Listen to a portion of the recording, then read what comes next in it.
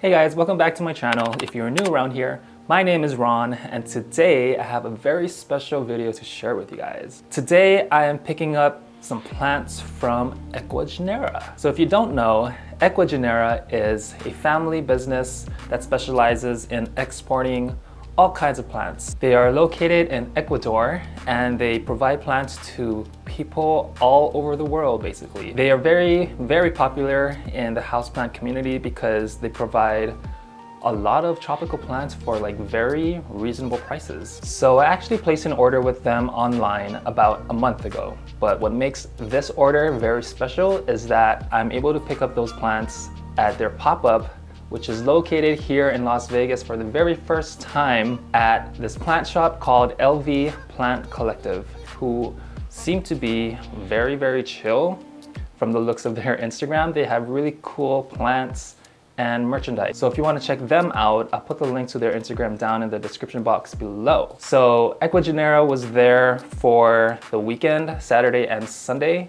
I think it's super cool because there's just a whole lot of people there in the middle of the desert, just rummaging through all the boxes of tropical plants. It's kind of surreal if you think about it. By the way, Ecuagenera specializes in orchids. If you are looking for a very, very specific type of orchid, I suggest you look up that orchid on their website to see if it's available because there is just so many different types of orchids out there in the world. Chances are Ecuagenera Ecuagenera will have them in stock for you.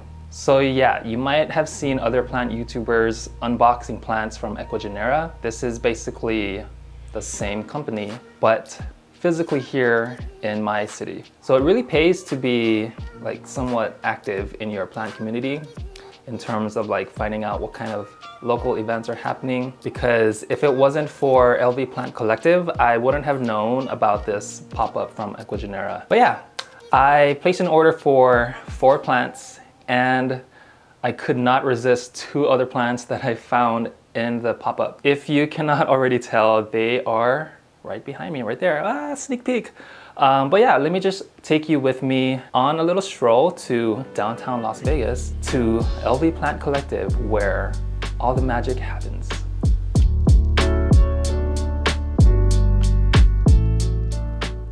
Okay, so, oh, peep the new car. Anyway, here we are at downtown Ferguson's. Actually, it's called Ferguson's Downtown, which is basically a district on Fremont Street that has been transformed from a motel to a little community of small business owners, creators, arts, and music. Check out this sculpture that's made out of a real semi-truck. Just kidding. So this is the inside of LV Plant Collective. It doesn't normally look like this, but here is a lot of boxes of Ecuagenera plants individually wrapped. Shout out to the team who did that, by the way. So efficient. So here I am looking at my first box. This is the Anthurium luxurians, $280. So beautiful. This has been on my wish list for a little while. In this box here is a bunch of anthuriums. So many different kinds of anthuriums I don't even know exist. Which, by the way, let me know down in the comments if you spot anything that's been on your wish list or anything that you've been wanting to get. Because I probably only know like less than half of these. But, oh, this one I do know. This is the Anthurium regale. These ones get so huge but I don't have the space for that, so let's just leave that where it is. This one here is the Queen Anthurium Esmeralda, which is known to be a little bit more green than the standard Queen Anthurium. Oh, there's a puppy. Okay, so this is a hybrid of the Anthurium crystallinum and Anthurium magnificum. I've been trying to look for the standard crystallinum, but I couldn't find one. This one is another Anthurium, which I've never come across before, but it still looks pretty. I wish I could just take all of these plants home. This is an Anthurium. What? Here is a box of what at first I thought was all rare plants, but as you can see, there's a mixture of like rare and somewhat common plants. Like this plant here, this is so common. I find this in the backyard of my house. It is the variegated Monstera adansonii for only $500. Like who would pay that much for this plant? I would, oh, wait. So this is an example of a plant that is not really rare. It's a Calathea white fusion. I have one that I brought with me from Hawaii. Although all the white disappeared, it reverted back to all green, sadly. And then this one is another rare plant, the Monstera obliqua Peru, for only $250. I'm gonna get, no, let's just put it back. So this store also sells a lot of cute merchandise and little trinkets here and there, like some candles, pots. For example, this little pot is so interesting. It has like triangles and like W's. Here we got some very amazing magnets and stickers. As well as pins. I really wanted to pick one of these guys up, but as you can see, I was busy trying to switch out this verrucosum that I got in my order because the one that I got wasn't looking too healthy, but I couldn't find one.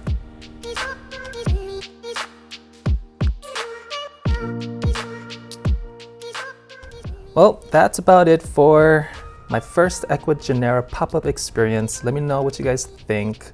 It's time to go back to my plant room to take a closer look at these plants.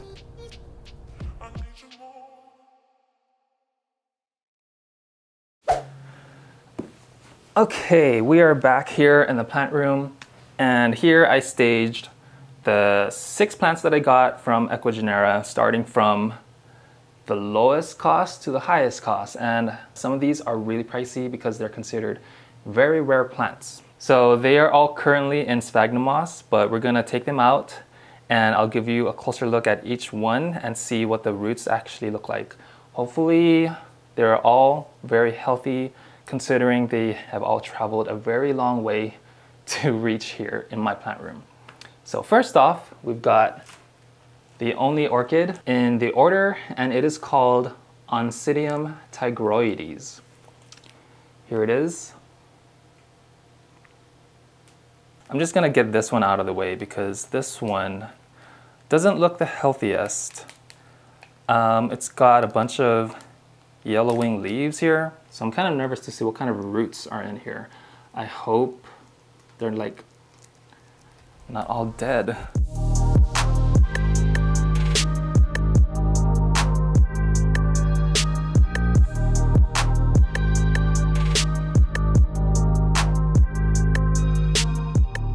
Okay, so this one, the sphagnum moss feels pretty moist, so kind of nervous.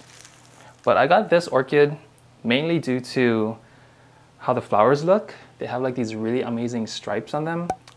And it's called Oncidium tigroides, but I'm just gonna call it the tiger orchid because that's what the flowers look like. The roots overall seem to be pretty good um, with the exception of like this one part that looks very brown right there. So yeah, there might be a little bit of rot in there, which I'm gonna have to meticulously get rid of before I transfer this into, I feel like I'm gonna put this in leca. So that's the plan for this one. But yeah, this is the tiger orchid or Oncidium tigroides. Okay, moving on to the next plant. This one is the Philodendron Mamei Silver. As you can see, the leaves have this really cool silver, splashy, stripy situation going on.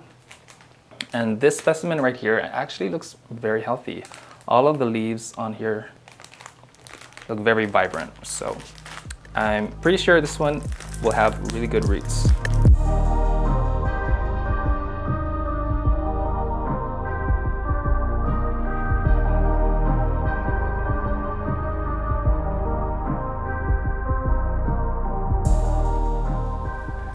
This one is so pretty.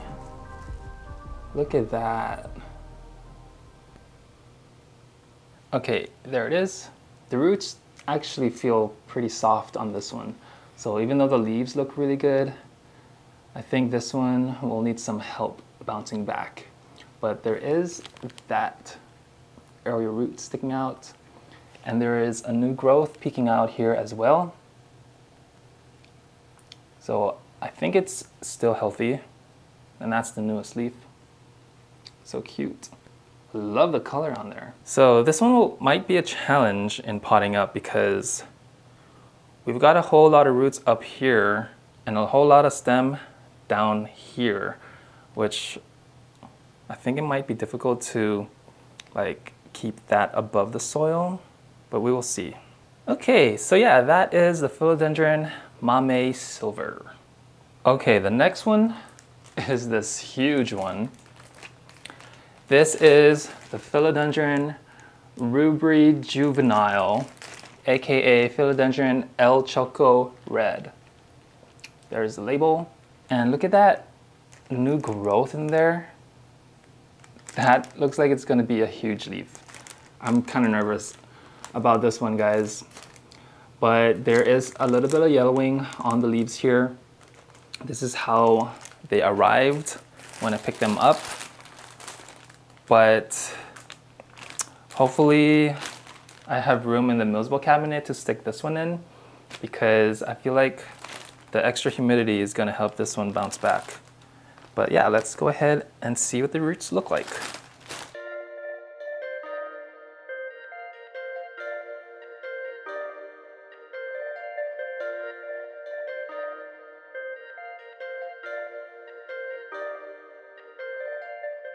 Okay, so as expected, the roots on here don't really look the healthiest. There are some brown, mushy roots going on, as, as you can see. So I'm gonna have to be extra, extra careful with this one when I rinse it in the sink. I wanna make sure to cut all of that brown, mushy roots off. Other than that, I mean, the plant is really beautiful. This is probably why it's called the El Choco Red, because it has red, obviously. The new growth here gives me hope, so hopefully I'm able to bounce this one back very quickly. But yeah, here, once again, I think this one is the newest leaf. Just imagine there's no yellow on there. I mean, also the new growth on here has a little bit of physical damage. But yeah, I'll probably give you updates on this one specifically. Hopefully it doesn't die on me because it is probably one of the biggest plants in my collection currently. And I want to make sure this one survives. So this is the Philodendron El Choco Red. Pia, come on this side, Pia. Stay. Okay, moving on. This next one's called Philodendron verrucosum. So this is an example of one of the plants from them that arrived pretty small. Although they do have like really huge ones of these, um, but I usually like to start my collections with small plants. So this one has the number two in the name. So I think that determines like the next size down. Yeah, this one also doesn't look the best, guys. I was trying to find another one in the store to replace this one because they included this one in the bag for me, like pre-packaged, to include all of the plants on my order. But it was nice of them to let me know that I was able to go through the boxes and see if I wanted to switch anything out. And I was trying to find a better looking one than this, and sadly, I could not find one. There was probably one in all of those boxes, but as you guys saw, that would be like finding a needle in a haystack because there's just that many plants. Hopefully the roots in here are not too bad.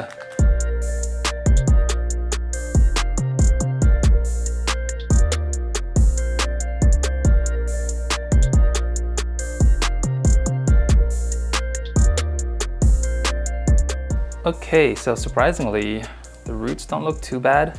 There's a lot of brown, but I think that's just old stem because they're not mushy or anything. And there's a lot of white, healthy roots towards the tips. These ones up here, are these? Yeah, these were previously leaves, these yellow tendrils. This one is the newest leaf. And this one is an older leaf. Actually, no, I lied. That is the newer leaf, and that is the older leaf. There is a new one about to unfurl right there.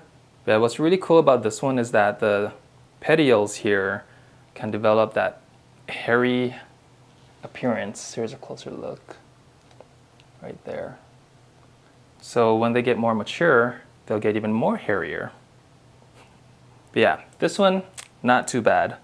The Philodendron verrucosum. Okay, moving on to the final two plants. But first, here is the Monstera obliqua Peru.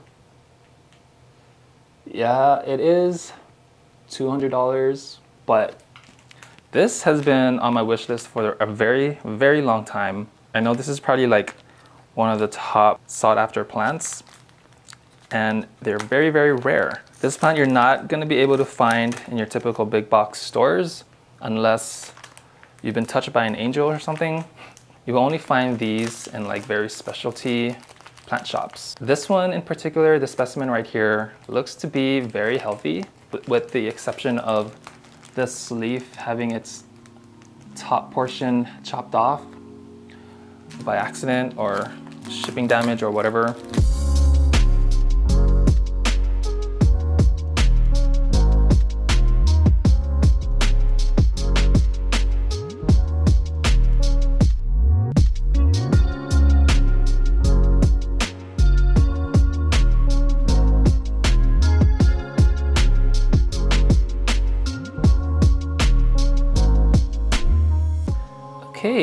Actually this one's not too bad at all.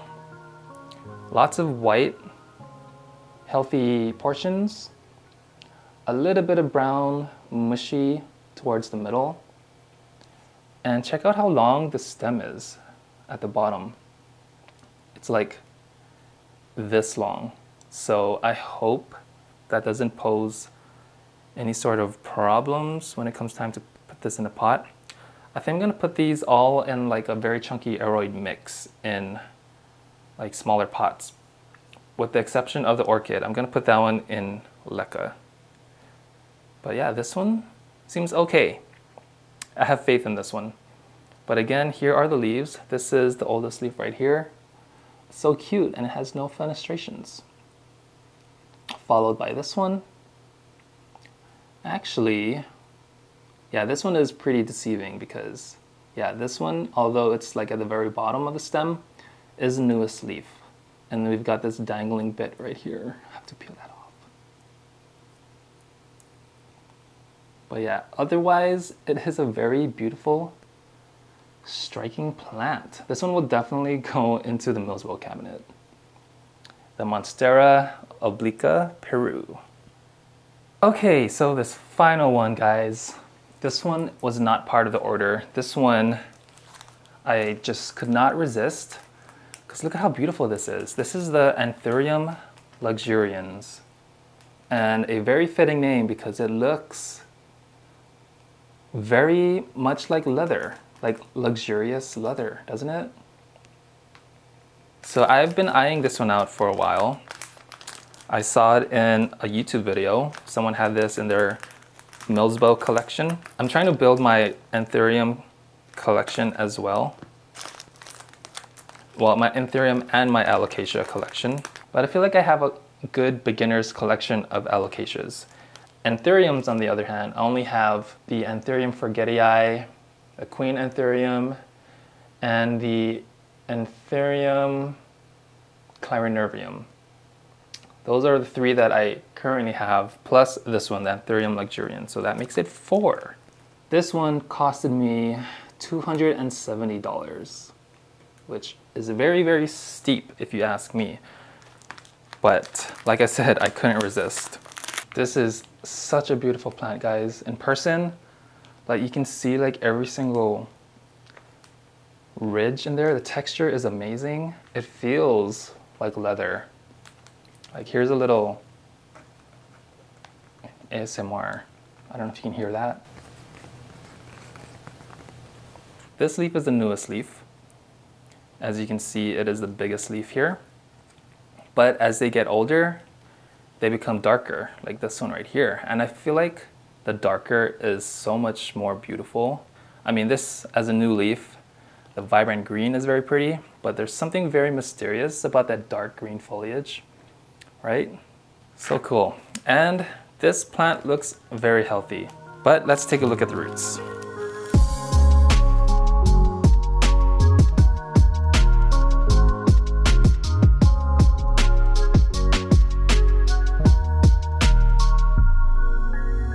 Okay, so I don't know if you saw that, but I did have to chop up some of the roots here. But out of all of the plants that we've unpackaged today, I think this one has the most healthiest root system. Look at how bright white that looks. So the petioles on here are so interesting, guys. Look at them. They have like these ridges on them, as if like they're square, if I were to slice that petiole, we'd see the cross section of like a square shape, which is so interesting. So it's got a total of six leaves here. This is the oldest one here. It is on its way out. That's okay, but thank you for your service. And then with each newer leaf, the size just gets bigger and bigger and bigger and bigger. So yeah, I feel like I won't have any issues with this one in the Milsbo cabinet. The Anthurium, what is the name again? Anthurium luxurians. Okay guys, well, that is about it for this video.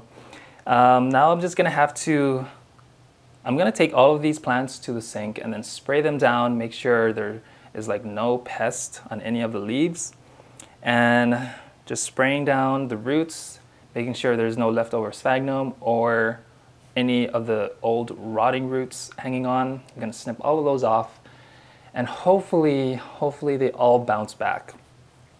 But yeah, if you enjoyed this video, please do hit the thumbs up and if you haven't yet already, plant scribe.